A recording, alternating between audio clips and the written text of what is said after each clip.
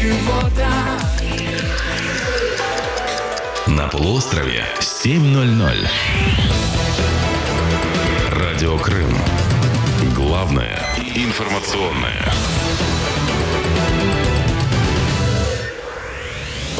Два часа. Две точки зрения. Два ярких ведущих. Алексей Щербак и Екатерина Серюгина. А это значит, на старте программа «Линии».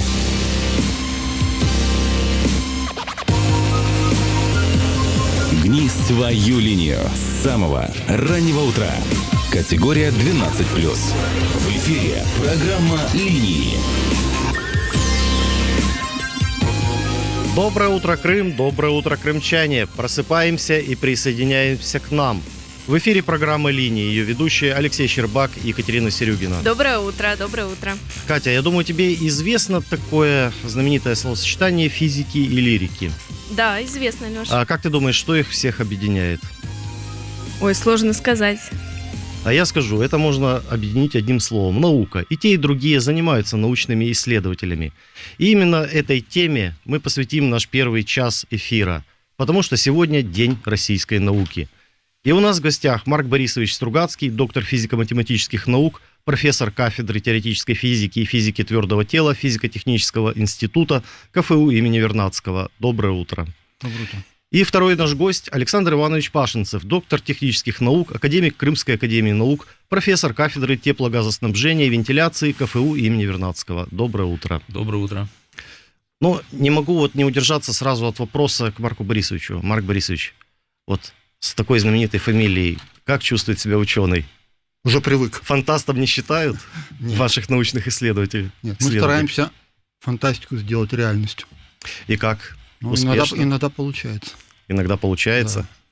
А, расскажите, чем живет нынешняя наука, вот, физмат? Для многих это, скажем так, ну, что-то заоблачное, что-то вот реально фантастическое.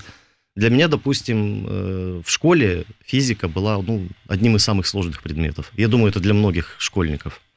Ну, сейчас фактически с наукой соприкасается каждый человек, потому что, потому что наука непосредственно э, управляет и организует технологию. То есть технология и наука практически одно и то же. Технологию мы все наблюдаем за последние годы э, такое бурное развитие, которое, так сказать, на которое раньше требовалось столетие.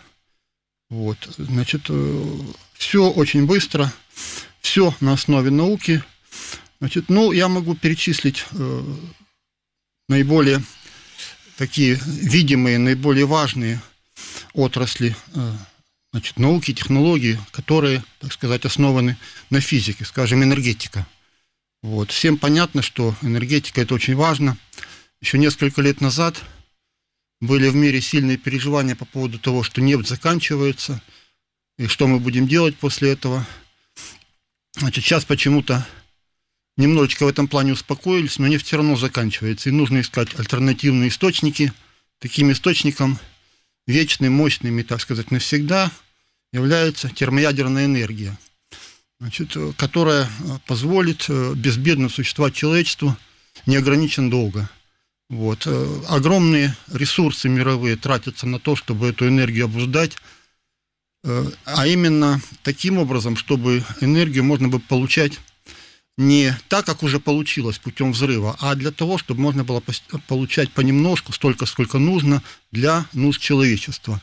Вот. На это тратятся ресурсы самых-самых богатых и развитых стран, и пока еще не получается, но оптимизм есть, конечно же, получится, потому что деваться некуда. Нефть все равно закончится. Э, Но ведь запасы урана, плутония и прочих э, радиоактивных элементов тоже исчерпаемы. А, Нет, понимаете как? Значит, уран, плутон это хорошо. Э, До сих пор это, э, так сказать, э, не, не самое главное топливо. Это тоже на очереди, но речь о другом. Речь о термоядерной энергии, то есть э, об энергии, которая связана, э, которая выделяется при соединении не тяжелых ядер, там урана, плутона, а легких изотопов водорода. И вот э, таких ядер, их, в принципе, гигантское количество, это вода. Вот. И здесь, э, так сказать, нужно только все это обуздать, а тогда с энергией проблем не будет. Скажем, многие мечтают о том, или говорят о том, что вот солнечная энергия есть. Да? Но тут есть, э, и, к сожалению, к счастью, ограничения. Значит, такое понятие обычно э, значит, рассматривают, когда говорят об энергии.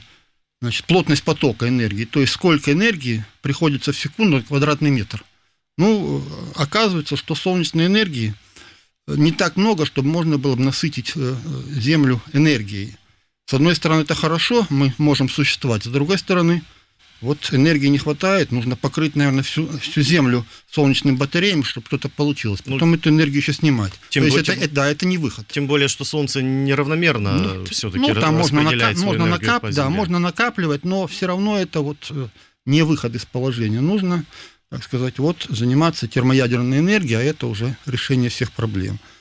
Значит, ну, это вот первое, что я хотел сказать по поводу вот э, опекаемой физикой технологии, что еще? Информационные технологии. Значит, э, это... Без них никуда сейчас. Да, это и э, объем информации, и скорость передачи информации, и, и сенсоры. Вот. В связи с этими значит, э, материаловедение, новые материалы, это тоже, так сказать, очень сильно касается физики, особенно вот такой области, как физика конденсированного состояния, которой я имею честь, так сказать, заниматься. Вот. Новые материалы тоже все видят. Вот э, едет машина. Раньше было понятно, из чего она сделана. Там железо, кожа. Сейчас столько новых материалов, что, так сказать, э, и не скажешь, и не поймешь сразу. Даже специалист не, не оценит мгновенно, так сказать, чего, из чего что сделано. Но вот прогресс здесь очевидный. Это во всем. Ну вот такие области. Хотя их на самом деле гораздо больше, но я отметил бы те, которые вот как бы очень хорошо видны и которые связаны непосредственно с физикой. Да, спасибо большое. Я хотел бы напомнить нашим постоянным радиослушателям и сообщить тем, кто только к нам присоединяется, номер телефона для звонков к нам в прямой эфир в студию плюс 7978 400 264. Также вы можете написать текстовые сообщения в сервисах Viber и WhatsApp на номер плюс 7978 701 7905. Это вот, кстати, что касается тех самых цифровых технологий. Без э, этого Конечно. и наша работа сейчас была бы очень затруднительна э, в плане прямой связи, обратной связи с радиослушателями. А вот на ваш взгляд, что сейчас э, способствует развитию науки в Крыму? Вот, Александр Иванович, может быть, вы ответите? Спасибо за вопрос. Я считаю, что на сегодняшний день развитие науки в Крыму очень тесно связано с развитием лабораторной базы. И нужно сказать, что Академия строительства и архитектуры, как структурное подразделение Крымского федерального университета, оснащено лабораторная база, которая позволяет проводить очень существенные, на мой взгляд, научные исследования, добиваться положительных результатов. Я прошу прощения, с нами на связи, вот опять информационные технологии в помощь. Наша утренняя телепрограмма. Доброе утро, коллеги. Доброе утро, коллеги. Доброе утро. Рассказывайте, Доброе утро. какая тема самая актуальная на сегодняшний день? Что обсуждаете сегодня в эфире? Ну, обсуждаем российскую науку. Сегодня день российской науки. Угу. И нау... раз... научные достижения и перспективы вот сегодня планируем обсудить. Мы как раз только что смотрели сюжет о том, что 111 тысяч получили грантов крымские студенты. А, расскажите, а какие дальше направления науки будут продвигаться и как в Крыму будет развиваться отрасль науки?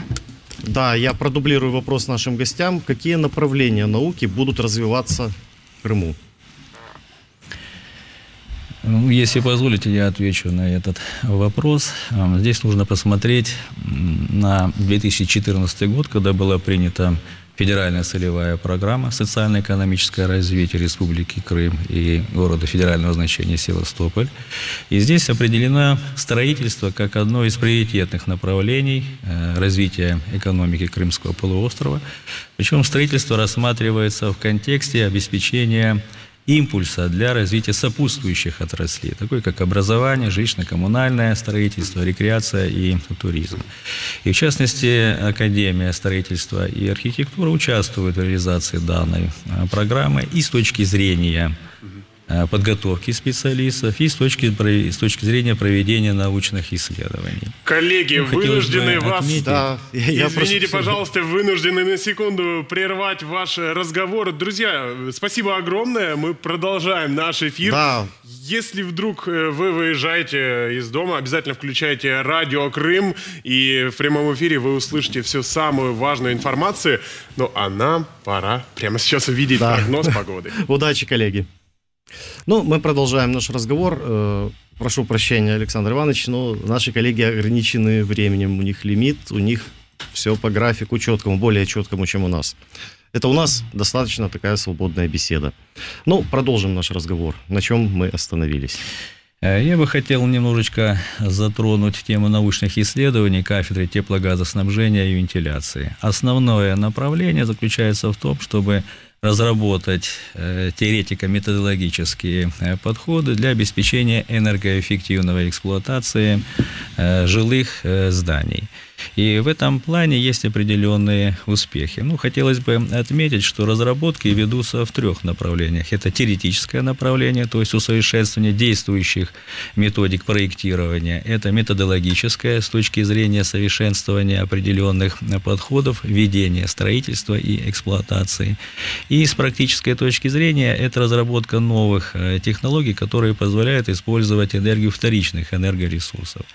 Вот если кратко сказать о теоретических исследованиях, то в данном случае э, при проектировании систем теплоснабжения, отопления нами используется методика расчета надежности данных систем – она в корне отличается от э, существующих аналогов, исходя из того, что сам теплоноситель мы рассматриваем с двух позиций. Техническая – это расходная характеристика, и технологическая – это температурные параметры.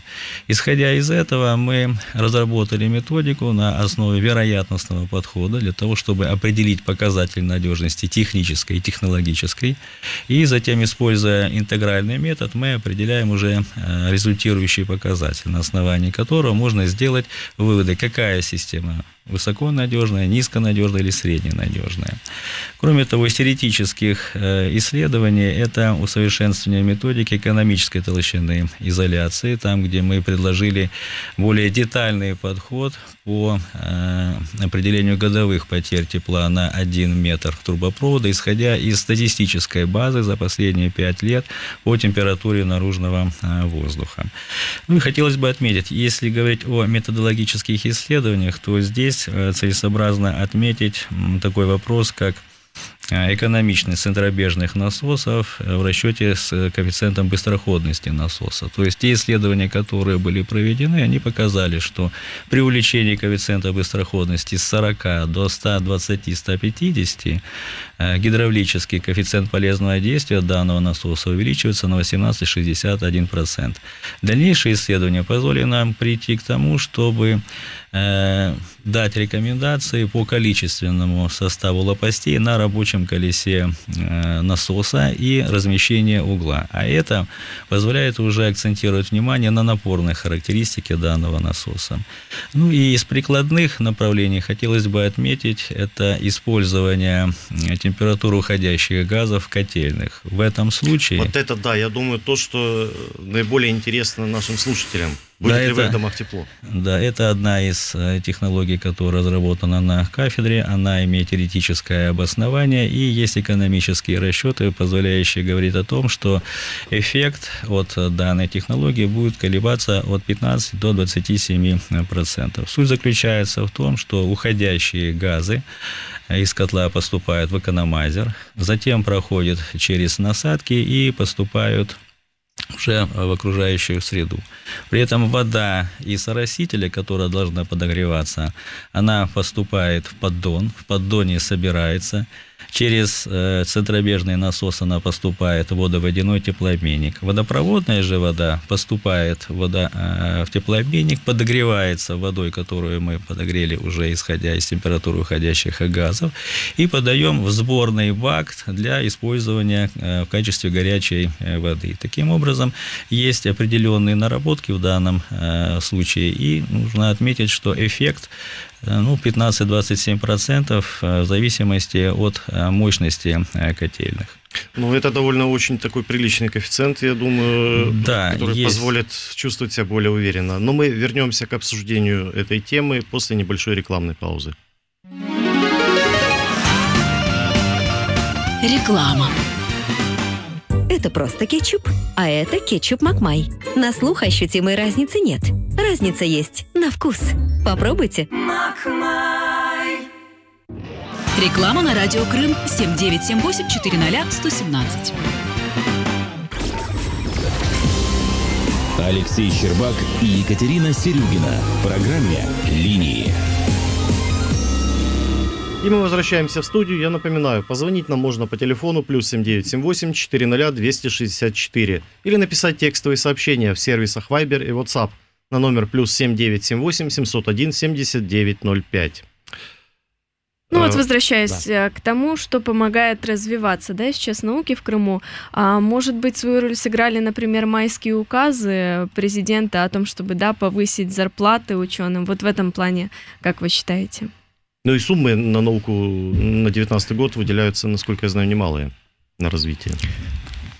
Ну, конечно, поддержка руководства страны – это очень хороший стимул для работы. Но по поводу науки я хотел бы сказать, добавить хотел бы вот что. Значит, я представляю физико-технический институт, у нас есть несколько кафедр, значит, ну и на каждой кафедре свой акцент. Есть такие, которые – Э, занимаются больше прикладными исследованиями, например, кафедры энергетики. Вот. Ну а другие, а некоторые другие кафедры больше занимаются фундаментальной наукой. Я вот как раз отношусь к такой кафедре, теоретической физика, физика твердого тела. Я хочу сказать, что э, границ э, между э, ну, между различными структурами, занимающимися науками, не только внутри Крыма, не только внутри России, но во всем мире их нет. Мы э, продолжаем тесно сотрудничать, несмотря на всякие э, всем понятные сложности, и с э, ведущими научными центрами России, скажем, Московский университет, Академический институт, Институт атомной энергии имени Курчатова, Институт кристаллографии, Институт физических проблем. Это вот, так сказать, лидеры российской науки. Кроме этого, мы, несмотря ни на что, сотрудничаем зарубежными научными центрами, с центрами во Франции, центрами в Голландии, продолжаем до сих пор туда ездить, общаться. Мы э, занимаемся, вот, значит, наша кафедра теоретической физики, физики твердого тела, она фактически состоит из двух половинок. Теоретическая физика и физика твердого тела. Я возглавляю направление подготовки физика твердого тела. Твердое тело – это кристаллы. Значит, кристаллы – это ну, практически основа современных технологий. Нет такого современного устройства, где не было бы кристалла. Вот там наушников, мобильных телефонов, до спутников, космических станций. Вот, мы выращиваем кристаллы, мы их исследуем. Мы выращиваем уникальный материал, но представьте себе магнит прозрачный, прозрачное зеленое стеклышко и притягивается к магниту. Значит, это очень интересный, востребованный во всем научном мире материал. Значит, э, масса научных исследований сделана во многих мировых лабораториях, потребность большая. Кроме этого, э, сейчас в последнее время наметились ярко выраженные э, практические приложения. Ну, например, вот какие. Значит, мы сотрудничаем с Институтом кристаллографии Российской Академии Наук. У нас совместный грант вот. И эти кристаллы, оказывается, незаменимы в качестве монохроматоров для синхротронов, ускорителей электронов, ну, коллайдер.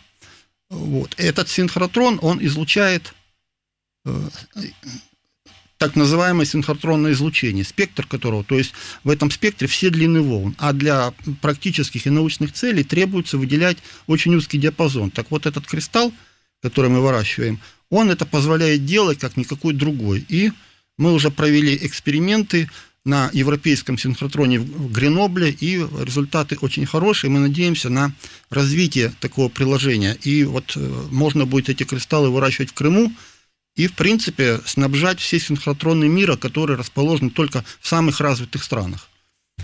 Вот. И еще я хочу вот что сказать, э, что наука делится условно на фундаментальную, то есть абстрактную, которая вроде бы не занимается приложениями, и прикладную, которая непосредственно заточена на то, чтобы поддерживать инженерную сферу и так далее.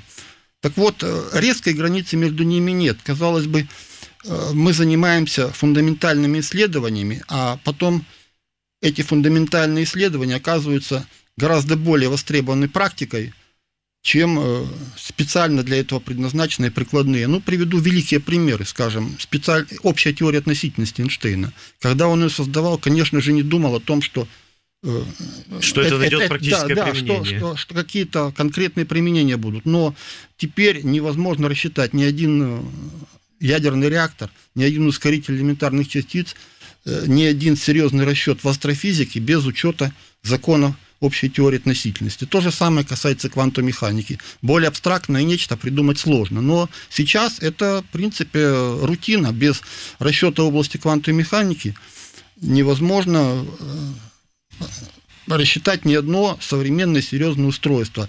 Э, в современных устройствах э, речь идет о миниатюризации электронной базы. Миниатюризация приводит к тому, что начинает проявляться не классические законы, а квантовые. Без, поэтому без, без учета квантовых законов ничего серьезного создать сейчас невозможно. Вот, вот такой ответ на вопрос – Александр Значит, Иванович, а вот как вы обмениваетесь опытами с коллегами с материка и из-за рубежа? А как работа налажена у вас? Ну, я должен сказать, что наша кафедра теплогазоснабжения и вентиляции еще с 2014 года э, есть определенные контакты э, не только с вузами э, континентальной Российской Федерации, но и с фирмами, которые занимаются разработками новых технологий в области теплогазоснабжения и вентиляции. Э, если говорить о таких фирмах из зарубежных, которые, с которыми э, сотрудничает наша кафедра, это Герц, Данфас, э, ТС. И с помощью этих фирм на кафедре созданы лаборатории отопления, теплоснабжения. И на сегодняшний день идет полным ходом создание лаборатории теплотехники.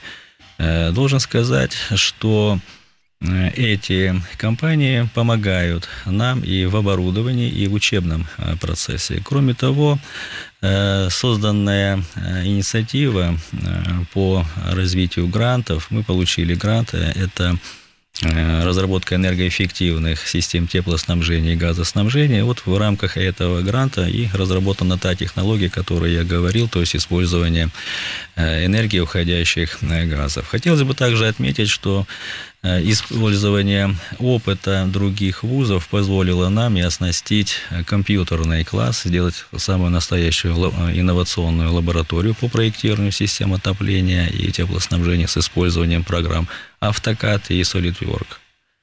Вот вкратце хотелось бы на этом акцентировать внимание. Да, э, а нам подсказывают, что есть телефонный звонок. Я думаю, что это наш постоянный радиослушатель, который часто звонит нам в эфир. Доброе утро. Доброе Алло. утро, представьтесь, пожалуйста. Алло. Алло, мы вас не слышим. Алло, алло, алло. Да-да-да. Доброе Я утро. Я бывший студент э, бывшего Симферопольского государственного университета имени Фрунзе и учился лично у Марка Борисовича. Очень приятно. И моя жена также училась и заканчивала физику твердого тела. И вот у меня вопрос к Марку Борисовичу. А вот в свое время мы даже ходили, выращивали сюда на студенческую, в КБ «Домен», выращивали кристаллы. Кристаллы. Вот что случилось с этим КБ «Домен», или оно еще есть, еще, или я, еще я выращивают поясню, кристаллы? Я, я помню, поясню. они на оборонку выращивали. Я поясню Спасибо. сюда. Значит, вот по поводу кристаллов, я, я забыл сказать, что кристаллы выращиваются здесь рядом с вами, с вашей студией. Вот по соседству вот. за стеночкой нашей лаборатории. Даже, даже не знал да, этого. Да, да, да. Студенческая 12 рядышком. Mm. Вот, по поводу КБ-домены лаборатории. Значит, э, КБ-домен сейчас существует, правда, оно имеет другое название, вот, но это не меняет сути, значит, оно развивается и процветает, оно сотрудничает по э, синтезу тонких магнитных пленок с такими, ну, скажем, э, известными организациями, как Сколково. Mm. Вот. По поводу лаборатории, о которой говорил я, где выращиваются кристаллы вот, прозрачной магнетики, это тоже лаборатория нашего физико-технического института, но она относится организационно к кафедре к нашей. А вот Кабыдаменко организация – это отдельное подразделение в составе, научное подразделение в составе физико-технического института. Вот. Все выращивается, все развивается, все продолжается. У нас открылось второе дыхание. Да, Марк Борисович, вот хотелось бы еще один вопрос задать. Э, упоминали о международном сотрудничестве. Да. Но была такая история, что Министерство энергетики США запретило Брукхейнс, Брукхейвенской национальной лаборатории э, сотрудничество с российскими физиками. И вот, я не знаю, это совпадение или это э, привязка по дате с 11 апреля 2014 года, сразу после известных событий Крымской весны. Но потом этот запрет был Понимаете, снят. Они не смогли без нас обойтись. Я... Дело вот в чем. Дело в том, что на уровне так сказать, очень больших руководителей, наверное, какие-то официальные решения принимаются, но на уровне наших коллег отношения самые лучшие. И если есть необходимость и желание, мы всегда находим возможность контакта и сотрудничества. Они заинтересованы в нас, мы в них. То есть э, наука, она без границ, несмотря ни на что. Да, Александр Иванович, о вашей сфере как обстоит дело? Очень много лет жаловались на утечку мозгов на Запад. Как сейчас? Вы знаете, я не могу Обходимся сказать, без этого? Мы обходимся без этого. И те фирмы, которые я перечислял, это австрийские и немецкие фирмы, они со сохранили сотрудничество с нами, и наоборот, мы только развиваем это сотрудничество. Марк Борисович, к вам еще один вопрос. Э, Россия, вот я нашел такую информацию, входит в число... О, прошу прощения, мне подсказывают, у нас опять телефонный звонок. Вопрос задам позже. Алло, доброе утро. С бодрым утром, Александр. Александр Здравствуйте, Иванович, Александр. Какова динамика развития отечественной науки за последние 28 лет и какие детерминанты влияют на данную динамику? Вот так вот. Вопрос больше, довольно меньше. такой очень сложный. Но хотелось бы отметить, что э, наука на сегодняшний день, она все-таки делает акцент на прикладные исследования, те, которые можно будет реально использовать э, в экономической деятельности, в хозяйственной деятельности, получать определенные результаты. Если говорить по э, нашему направлению исследования, то в данном случае мы занимаемся именно вопросами энергоэффективности. И хотелось бы отметить, что это не только технологии, но и исследование определенных нанотехнологий. Вот мы начинаем новое такое исследование, как разработка однонаправленных углеродистых волокон волокон. То есть речь идет о том, чтобы создать на этой основе э, так называемые э, э, стеклопластиковые арматуры, которые бы выполняли внешнюю функцию, то есть укрепляли бы внешнюю несущую способность несущей конструкции. Здесь хотелось бы отметить, что пока разработки ведутся на теоретическом плане, но определенные направления, определенные плюсы здесь есть. Да, Марк Борисович, я хотел бы вернуться к своему вопросу. Вот, э, нашел такую информацию, что Россия входит в число стран-лидеров по двум научным направлениям. Это каталитическая химия и общая математика. Но в пятерку э, ведущих научных держав пока, к сожалению, не дотягивает. Вот у нас математика осталась вот действительно вот такой вот сильной. Безусловно, безусловно, безусловно, математика очень сильная. Не перевелись еще? Да, но я, я еще раз хочу подчеркнуть, что в науке сложно провести границы. Понимаете, вот мы, скажем, публикуем статьи в международных изданиях. Значит, кроме нас э, есть авторы из западных стран, так сказать. И, то, то, есть, то есть нас радует интернационализация науки. То, что мы можем коллективно, так сказать, продвигать прогресс. Вот. А то, что у нас много талантливых математиков, химиков, физиков и представителей других наук, это безусловно. Да, что касается публикации, ну, наверное, вопрос э, к нашим обоим гостям, э, как сейчас обстоит ситуация. Э, ну, какое-то время назад, да, мне подсказывают, вот, никак мне не дадут задать очередной вопрос. У нас опять звонок. Алло?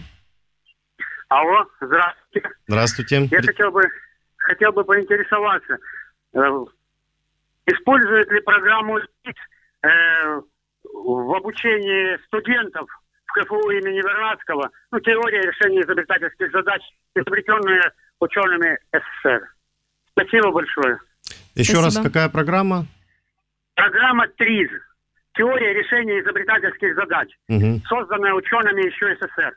То есть при подготовке молодых специалистов Ну, я, я, я не могу сказать точно по поводу этой аббревиатуры, но э, мы пытаемся и стремимся, иногда получается, так обучать студентов, чтобы они э, чтобы их изобретательские, так сказать, наклонности реализовались. И так часто получается.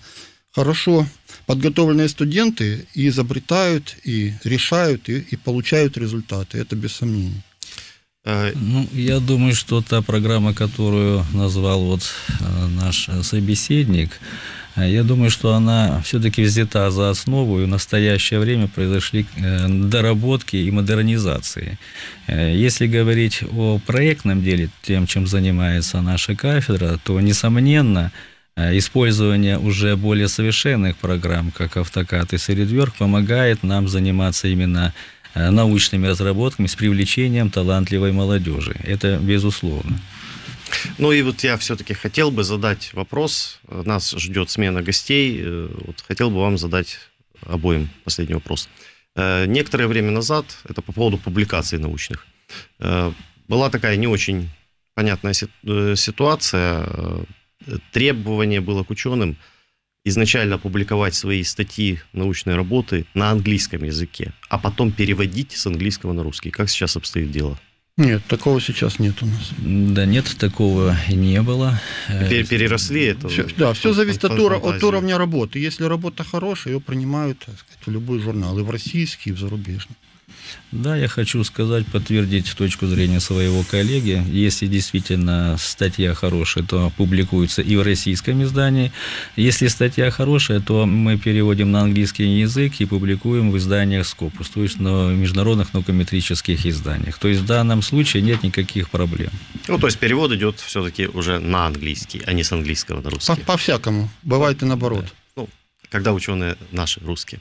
Спасибо вам большое. Я напоминаю нашим радиослушателям, что нашими гостями были Марк Борисович Стругацкий, доктор физико-математических наук, профессор кафедры теоретической физики и физики твердого тела, физико-технического института КФУ имени Вернадского. Спасибо вам. Спасибо. Спасибо. И Александр Иванович Пашинцев, доктор технических наук, академик Крымской академии наук, профессор кафедры теплогазоснабжения и вентиляции КФУ имени Вернадского. Большое спасибо за спасибо. интересную беседу. Спасибо. спасибо. А мы продолжим наше обсуждение Дня российской науки, научных достижений уже на примере участия молодежи в этом научном движении. И к нам присоединяются еще наши гости очередные. Это Мария Ивановна Алексеюк, педагог-психолог учреждения дополнительного образования Республики Крым, Малая Академия наук «Искатель». Доброе утро. Доброе утро. И Диана Довженко, ученица 11 класса, которая посещает кружок психологии в Малой Академии наук «Искатель». Диана, доброе утро. Доброе. Итак, что привлекает молодежь? Вот начнем, наверное, все-таки с Дианы. Что привлекает молодежь в науку? Потому что ну, принято вот считать, что ученые это такие сухари, ботаники, вот э, их ничего кроме науки не интересует. А как на самом деле? На самом деле это относительно. Возвращаемся к теории относительности, которую мы обсуждали пять минут назад. Это относительно, потому что вот как, например, есть люди, увлекающиеся музыкой, есть люди, увлекающиеся танцами, так есть люди, увлекающиеся наукой. То есть они находят в, этом, в этой сфере наибольшее наибольшую реализацию, наибольшую поддержку. И, конечно же, они полностью вовлечены, но, тем не менее, это полный стереотип, что кроме науки их ничего не интересует. Это очень образованные, эрудированные чаще всего люди, с которыми можно беседовать на любую, в принципе, тему и поддержать любой разговор. Мария Ивановна, а вот э, интерес вообще э, среди ребят, среди подрастающего поколения к науке как-то поменялся вот за последние, например, 5-10 лет? Или он остается стабильным? Ну, вообще Малая Академия Наук э, существует более 55 лет. И, что касается меня, я там работаю уже около 20 лет и могу судить об этом периоде времени.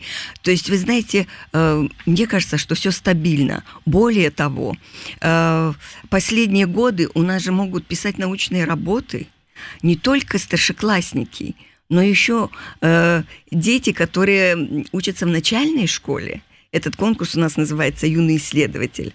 И э, дети подросткового возраста, среднего звена, с 5 по 8 класс – Поэтому, на мой взгляд, это еще даже ну, возрастает интерес. Диан, вот ты ходишь в кружок психологии, да? Расскажи поподробнее, чем вы там занимаетесь, что изучаете. Да, и в чем вот именно научная сторона да. психологии? Угу. В Малой Академии наук мы изучаем множество теорий психологических. Также у нас очень много практики. Мы занимаемся подробным разбором. Вот Мария Ивановна нам преподает какую-то тему, и после этого мы пытаемся перевести ее в какой-то более практический и ощутимый материальный, я бы сказала, материальную сферу. Вот. Еще один вопрос вы задавали. Ну вот вообще чем занимаетесь? Вот э, что интересного в кружке по психологии? Можете его даже прорекламировать как-то, да, чтобы ребята, которые нас слушают, заинтересовались. Все на самом деле интересно, потому что ты не только познаешь людей и э, то, как они функционируют, но ты в первую очередь познаешь себя, и ты учишься применять это, то есть у Марии Ивановны есть такая вот направленность, она нас, нам не просто рассказывает о различных теориях, она пытается их применить как-то к жизни, сделать их более практичными, рассказать, как это работает, как это функционирует, и вот это мне очень нравится, потому что я не только там слышу, что вот Зигмунд Фрейд когда-то придумал психоанализ, а мы смотрим и рассматриваем, как это используется в нашей повседневной жизни, вот, например, там кто-то сделал оговорку, и мы такие, да-да-да, мы все это заметили. Э, Мария да. Ивановна, а вот какие вот направления, может быть, более интересны, более популярны у вас? В Малой Академии? Да. Ну, у нас очень много направлений. Э, вообще считается Малая Академия наук, вернее, она и есть республиканским учебным заведением. И всего в Крыму 60 школьных отделений, а секций 62. То есть можете представить, да. какое огромное количество. Вот. И что касается направлений, у нас есть направление отдел научно-технического творчества и технических видов спорта, отдел начального технического моделирования, физико-математический, информационных технологий, гуманитарного образования. Ну, еще у нас есть замечательная юношеская астрономическая обсерватория. То есть у ребят огромнейший выбор. Да, вот, кстати, по поводу нашей обсерватории, я когда готовился к этому эфиру, вот узнал, что э, именно наша обсерватория в свое время открыла метеорный поток, комету, э, зафиксировала вспышку сверхновой. Это сделали молодые ребята, не серьезные маститые ученые, а именно наши мановцы. Ну, юношеская обсерватория, она существует с 1961 года. И очень популярна среди ребят. И работают преподаватели – ну, которым невозможно не бежать на занятия, они настолько увлечены, а наблюдения, которыми они занимаются, а, в том числе и более позднее время суток, конечно, ребят увлекает. А какие вот секции все-таки больше популярностью, может быть, пользуются? Ну, я думаю, что без математики невозможно никакое другое направление. То есть ты не станешь грамотным информатиком, ты потом можешь не стать физиком и техническое направление. То есть от математики очень многое зависит. Э, у нас работает Станякин Федор Сергеевич, наш ученик, кандидат физико-математических наук. Ну, это просто шикарный преподаватель. Я всем ребятам рекомендую попасть в его кружок, ну, разумеется, те, которые мечтают стать непосредственно математиками. Ну, вот, кстати, с нашими предыдущими собеседниками как раз обсуждали э, такую тему, что Россия входит в пятерку сильнейших стран по математике. замечательно. То есть э, у вас кузница кадров? Да. Ну, э, и, насколько я знаю, очень многие выпускники МАН добились серьезных успехов на научном поприще у них уже и серьезные научные звания, и авторитет в научном мире. Ну, могу привести пример профессора Ефетов, который работает в медицинской академии. Он выпускник. Он тоже выпускник. Да, он. да. Ну, фамилия Каз... вообще знаменитая. Конечно. Семья велел. Ефетовых, да. да. Я думаю, это все, их все знают. Козлов Александр Иванович, который работает в университете на кафедре информатики. То есть большое количество академиков, докторов наук, ректоры, проректоры вузов, директора исследовательских центров, политики, мэры и так далее. А страны, в которых работают наши бывшие мановцы и живут, это и Россия, и Украина, и Германия, и Франция, и Израиль, и США, Канада, Австралия. В общем, по всему миру разбросала. По всему миру. Недавно о, ко мне приходила наша бывшая выпускница, у которой которая приехала из Бельгии. Она теперь там живет со своим супругом, закончила МФТИ. Московский физико-технический вуз. Вот у нее муж э, работает, э, учится и работает там в аспирантуре. Вот, и она мечтает в аспирантуру туда попасть. И я у нее спрашивала, э, скажи, Катюша, пожалуйста, вот какое влияние все-таки МАН оказал? Она говорит, огромнейшее. То есть дети это ценят. И недавно я проводила анкетирование среди детей и родителей и наших педагогов. И все дети, сто процентов, ответили, что им нравится у нас заниматься. Ну вот, кстати, э, мы поговорили о географическом разбросе ваших выпускников. Э, и вот опять хочется вернуться к теме. Ну, утечка мозгов, она продолжается, получается. Ну, психологи считают, не я, другие психологи считают, что все-таки, если человек э, нашел себя в каком-то месте, где ему комфортно, где ему хорошо, где он может реализоваться, может быть, это и правильно. Но я делаю все для того, чтобы мои выпускники, мои молодые юные психологи оставались здесь у нас. У нас тесная дружба с кафедрой психологии, и каждый год один-два выпускника на кафе... моих выпускника mm-hmm. поступают на кафедру психологии, на бюджет. Вот и э, на каникулах прибегали первый, второй курс Ульяна, Даниил, которые с отличием закончили, сдали сессию. И просто счастливы, что они туда попали. Ну, кстати, о развитии молодежной науки э, нельзя не вспомнить центр «Сириус», который был создан в Сочи. Вот э, мне очень понравилось это настолько грамотное использование э, постолимпийской инфраструктуры. Ну, грех не воспользоваться тем, что уже построено, не надо ничего заново создавать, есть все помещения. Диана, не было желания Э, подключиться к деятельности этого центра. Там же, насколько я знаю, более 20 школ сейчас э, вокруг него объединено. Было. МАН в этом участвует? Насколько мне известно, МАН в этом участвует. А, у меня было желание, но МАН мне предоставил другую кучу возможностей. И я участвовала в других э, не менее интересных проектах. Например, я участвовала в национальном чемпионате защиты научных работ «Интеллект интеллектуальный потенциал России, и также на конференции «Научный потенциал 21 века», который проходил в научном городе Обнинске э, в этом году при поддержке фонда президентских грантов. Это было просто невероятное мероприятие. Оно ну, собрало, вобрало в себя лучших участников со всей России, которые приехали рассказать о своих открытиях. И это удивительно, что у детей действительно есть стремление к открытиям, и дети стремятся в науку, то есть это все-таки популярная сфера, и она набирает обороты. А как часто доводится принимать участие в различных вот таких вот конкурсах, конференциях?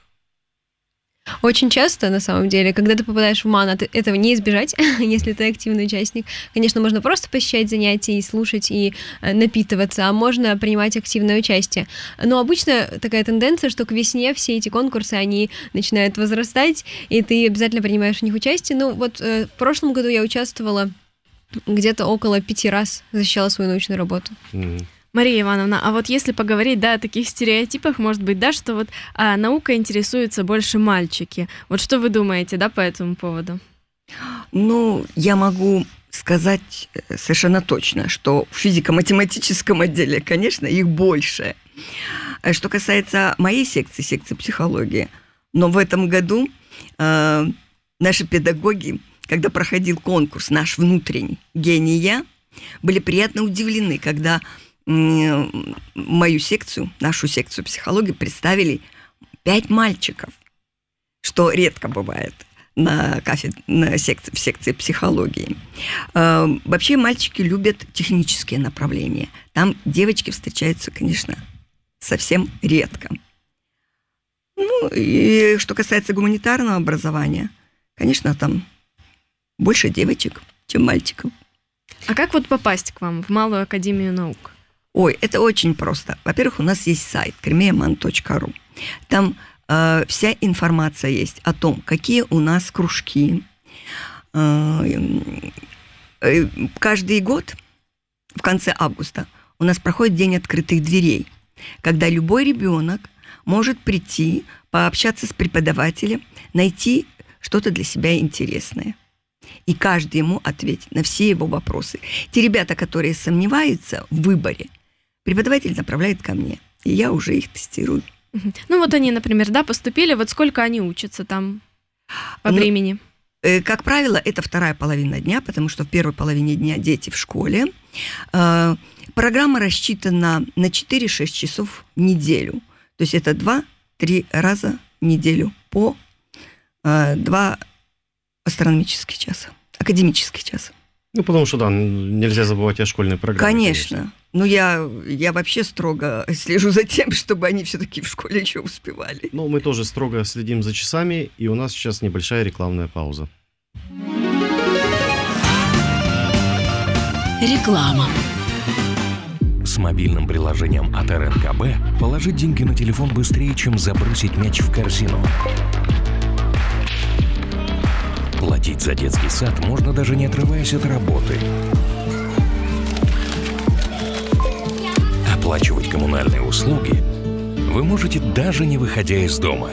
Экономьте время вместе с мобильным приложением от РНКБ.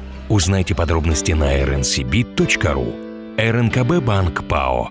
Это просто кетчуп, а это кетчуп Макмай. На слух ощутимой разницы нет. Разница есть на вкус. Попробуйте. Макмай. Реклама на радио Крым 7978 400 117.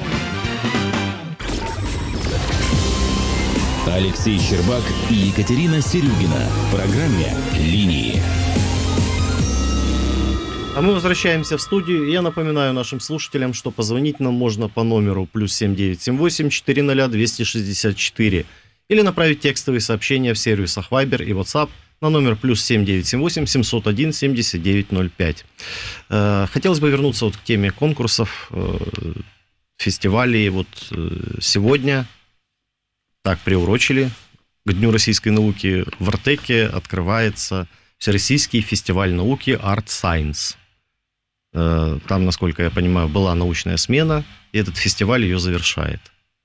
Э, скажите, э, МАН принимает участие в этой смене? Есть ваши представители? Ну, я не могу точно сказать, потому что этим у нас занимается зауч по воспитательной работе, которая направляет детей. Но в целом в течение года наши дети попадают в Артек, я имею в виду и на смену, и на различные конкурсы, их поощряют таким образом. И у нас не только дети, которые, ну, скажем так, заслужили награду, эм, имеют возможность побывать в Артеке, они еще могут побывать в Мановском лагере, Угу. Вот, они могут попасть на... А если не секрет, где находится? Скалистом. А, Скалистом. Но, да, там... в Евпатории. В этом году еще в Евпатории будет и в Скалистом. Тоже поближе к, к обсерватории. Угу. А если вот еще о других стимулах поговорим? Может быть, материально как-то поощряют ребят? Поощряют. Вот Диана у нас является в этом году еще 39 ребят стипендиатами Автономной Республики Крым. Да, я получаю стипендию. Немного больше, чем наши студенты. Много больше. А сколько, если не секрет? А, ну, ежеднев... ежедневно, если...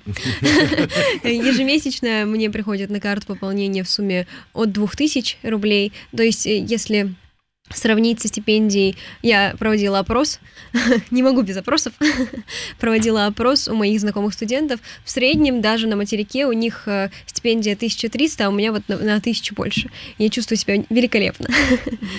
То есть молодежь вот реально может зарабатывать, Конечно. да, не только а, тем, что, да, там, не знаю, листовки раздавать, но и своим умом, да, Конечно, говорится. это же труд, и труд должен быть оплачиваем, любой, в принципе. Ну, это само собой, это обязательно, потому что что бы там ни говорили, но на одном фанатизме долго не проживешь. Кушать тоже хочется. Но у меня, если честно, не было такой цели. То есть изначально я делала это не для того, чтобы мне там платили деньги или я получала какие-то поощрения, а чисто чтобы утолить свой научный интерес. Потому что мне кажется, что и в принципе без этого невозможно, когда наука или вообще любая сфера руководит какими-то корыстными э, интересами, то на этом долго оно не проживет и не продержится. Но так или иначе, все равно материальный стимул, он э, поощряет человека, он уже и морально ощущает Безусловно. себя лучше потому что просто так деньги никто не даст. Вот, кстати, по поводу денег. Э, среди мановцев есть стипендиаты Государственного совета? Занимается Госсовет этим? Я знаю, что с КФУ... Э, я, думаю, я думаю, что есть. Выделяются я думаю, регулярно. что есть, но я точно не могу вам сказать, сколько человек. Но я думаю, что есть. Ну, по крайней мере, наша администрация все для этого делает, чтобы э, ребят поощряли. А как, как строятся взаимоотношения с Крымским федеральным? Сейчас этот университет объединил в себе кучу вузов, направления самые разные, но я так думаю, что должно было стать проще.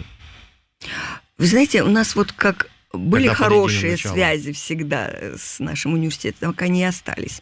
В ноябре прошел первый конкурс, а э, первый этап, извините, первый этап защиты научно-исследовательских работ, а в марте будет второй этап, когда будут дети со всего Крыма участвовать в этом конкурсе. И Крымский федеральный университет, он предоставляет нам свою площадку, своих преподавателей. Уже преподаватели на данный момент разобрали все работы для рецензирования. То есть они нам помогают. Просто если Мы раньше, да, речь шла о конкретном университете, там, два-три корпуса, сейчас вот что имею в виду, что объединил кучу вузов, множество направлений, и оно сейчас э, в едином начале, скажем так, под единым руководством. Проще стало, я думаю. Вы знаете, какие-то вот вопросы решать. Э, настолько у нас тесные связи, что вот на нас это как-то особенно не повлияло. Много личных отношений. Э, многие преподаватели, знаете, они настолько осознанно к этому относятся, что они заинтересованы в наших детях, мы заинтересованы в них. И поэтому в этом плане все хорошо. Вот, допустим, кафедра психологии, опять возвращаюсь к своей mm-hmm. кафедре, этим эм, защитой научно-исследовательских работ, рецензированием занимается Малкин Василий Максимович. Вот он вчера пришел, сам забрал уже работы. Мы назначили время, аудиторию. То есть ничего не изменилось. Но вообще у мановцев, насколько я знаю, и намного выше перспективы стать студентом. Конечно. Им э, 10 баллов добавляют, насколько я знаю. То есть автомат, автоматически уже плюс 10 Ну, призером, победителем. Да. Угу. Тоже неплохой стимул, да? Конечно.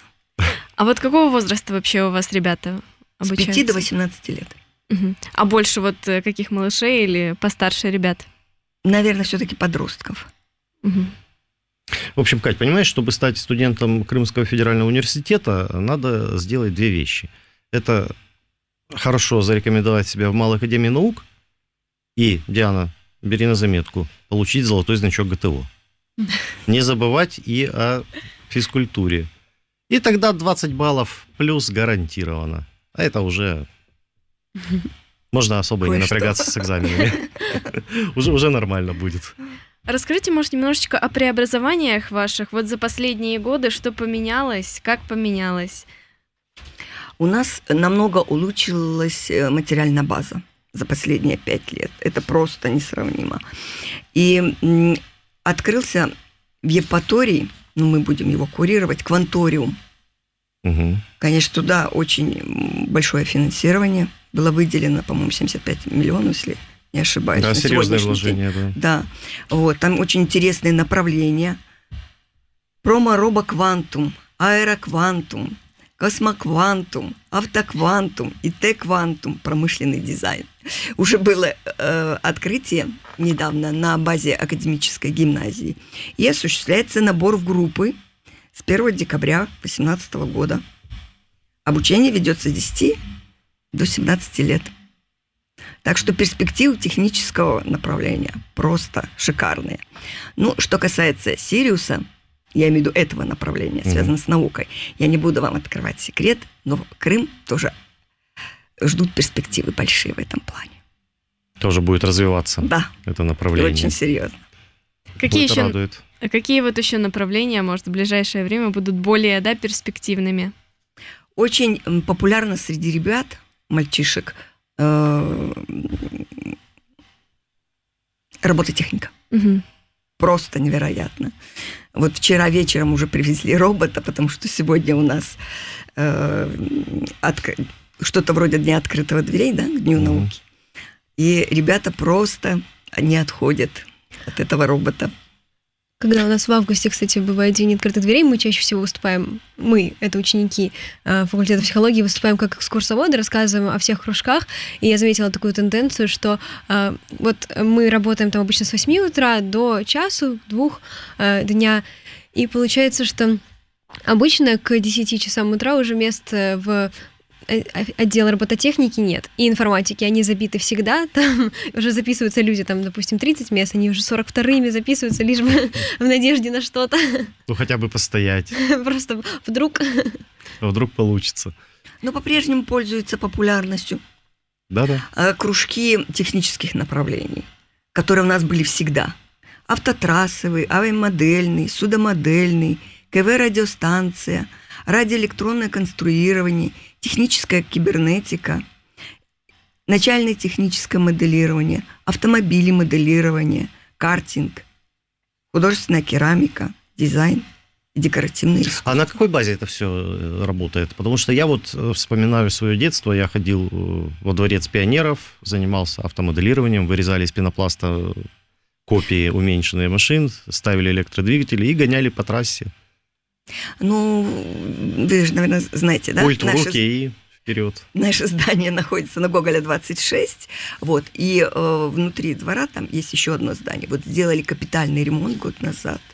То есть условия просто замечательные.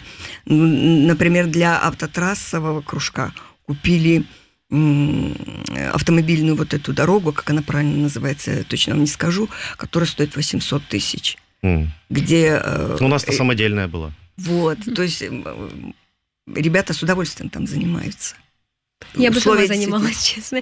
Когда мы водили экскурсии, мы тоже э, приводили всех смотреть на эту трассу. Было невероятно. Просто ты смотришь, а эти машины летят со скоростью света, и дети ими сами управляют. Я думаю, я бы сама занималась, будь у меня такая возможность. Ну и сейчас, я думаю, так намного все упростилось, потому что э, вот я, как вспоминаю, у нас самый большой дефицит был, это зарубежные автомобильные журналы, Э, и желательно с чертежами, с размерами, чтобы сделать точную копию по габаритам, чтобы это не было так, тяп-ляп. Ну и вторая была проблема электродвигателей. Это было не достать. Особенно немецкие. Это был жуткий дефицит. У нас многие даже покупали специально э, немецкую железную дорогу только ради двигателя. А все остальное так уже выбрасывалось практически. Ну, теперь перспектив и возможностей намного больше. больше намного больше. А, кстати, я вот обратил внимание, что помимо всех вот этих вот технических, э, гуманитарных, э, есть еще направления художественная керамика, бисероплетение, дизайн. Вот э, для Академии наук несколько необычно звучит, наверное. Ну, вы же понимаете, что есть еще государственный заказ он выражается в чем? 75% детей должны быть заняты дополнительным образованием, то есть занятиями в дополнительном образовании. И последнее выступление представителей Министерства образования говорили о том, что в среднем желательно, чтобы каждый ребенок в неделю посещал два кружка. Mm. А разные же бывают у детей симпатии и а желание. Вот возвращаясь э, к кружку робототехники, это получается, ребята сами программируют там, да, роботов? Да. Угу. Строят, управляют. Угу. Ну, не знаю, вот э, говорили о распределении, где больше мальчиков, где больше девочек. Но мне, честно говоря, почему-то, вот когда я начинаю вспоминать известных математиков, Софья Ковалевская на ум приходит. Вот такой вот нюанс.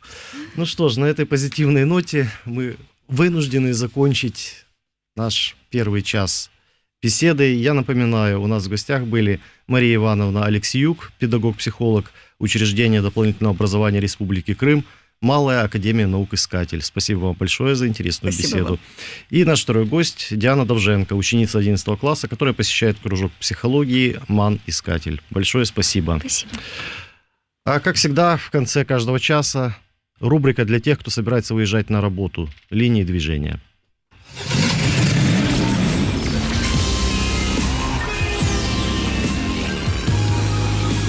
Линии движения. Начнем с Симферополя. Ситуация на дорогах в городе в последнее время изменилась в лучшую сторону. Заторы начинаются позже – Пока в крымской столице практически все улицы свободны для передвижения. Загружены только несколько участков и разворотов по проспекту Победы. Уже сейчас скопление автомобилей начинается на Куйбышевском кольце во всех направлениях. Загружен поворот с улицы Шмидта на Воровского, а также съезд с улицы Ленина на площадь Советскую. Небольшая пробка образовалась на перекрестке Ялтинской и Плотинной. Замедляется движение и на Глинке. Уже сейчас можно сказать, что скоро заторы появятся в центре города. Не более 25 км в час едут машины по Севастопольской, Кирова, Красноармейской, Маяковского, Москалева, Гагарина, Ленина. Начинает формироваться пробка на центральном рынке, улицах Киевской, Трубаченко, Павленко и Русской, а также на проспекте Победы. Небольшой затор уже наблюдается и на кольцах Симферополя. Также затруднен въезд в город со стороны Трудового и Укромного. Стабильная ситуация и в других городах полуострова. Небольшой затор наблюдается при въезде в Феодосию. Здесь машины движутся со скоростью не более 20 км в час. Еще одно уплотнение машин уже образовалось возле Лугового и на Южнобережном шоссе возле Ялты. В остальных городах водители добираются без проблем. Будьте внимательны и счастливого вам пути.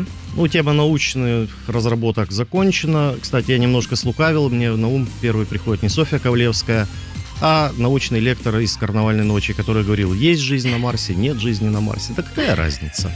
Ну, а мы вернемся к вам после выпуска новостей.